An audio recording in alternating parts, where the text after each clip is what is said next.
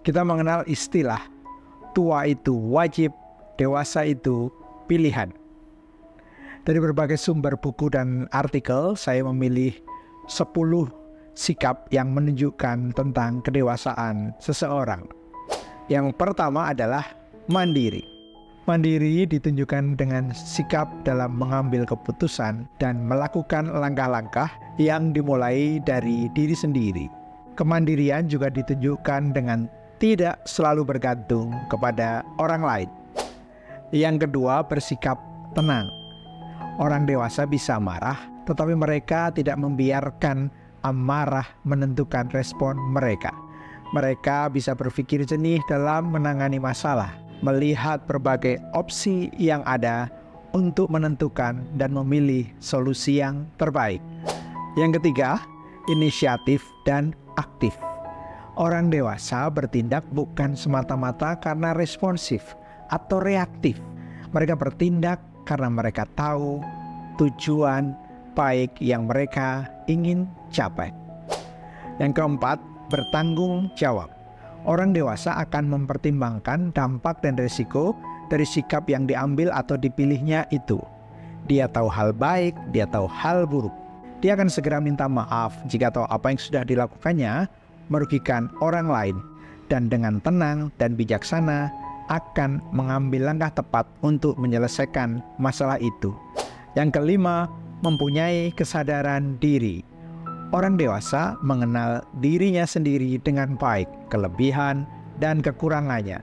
Dia juga percaya diri yang menghadirkan optimisme untuk membangun diri lebih baik.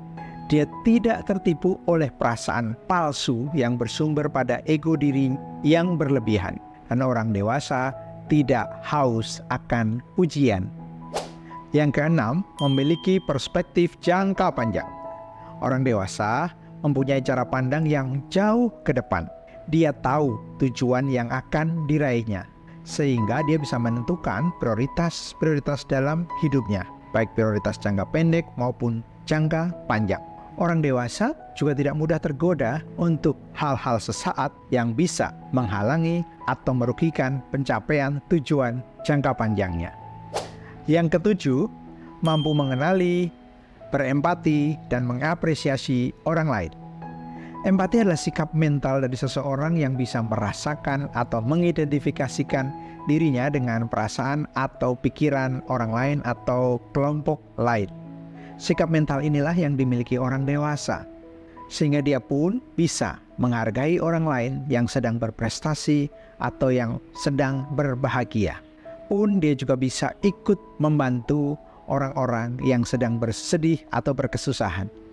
Yang kedelapan, mampu berdiskusi, mampu menerima, dan memberi masukan dengan baik.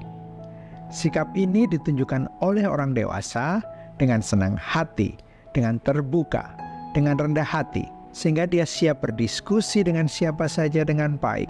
Dia pun mau menerima masukan untuk dirinya, dan dia pun berani memberi masukan yang baik untuk orang lain. Yang kesembilan, memiliki minat yang dalam.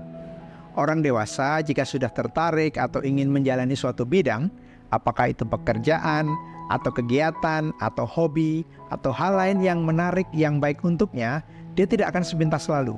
Dia akan bersungguh-sungguh, dia akan mempelajari, dia akan mendalami, dan dia akan berusaha untuk menguasai supaya berhasil dan juga supaya terus menikmati bidang yang dipilihnya itu. Dan yang ke-10, berpikir positif.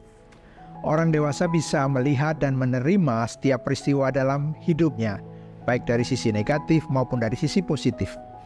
Dari sisi positif, dia bisa berpikir positif untuk menjadi tidak mudah menyerah, untuk menemukan solusi-solusi, untuk melangkah lebih maju lagi, lebih berhasil lagi, dan lebih bahagia. Itulah 10 sikap yang menunjukkan tanda-tanda kedewasaan seseorang. Apakah Anda selama ini sudah menjalaninya atau memilikinya? Atau Anda sedang menuju kepada kedewasaan? Atau Anda belum dewasa? Ataukah Anda juga punya tambahan sikap-sikap yang menunjukkan kedewasaan seseorang? Tulis di komen ya. Salam sehat, sukses, bahagia.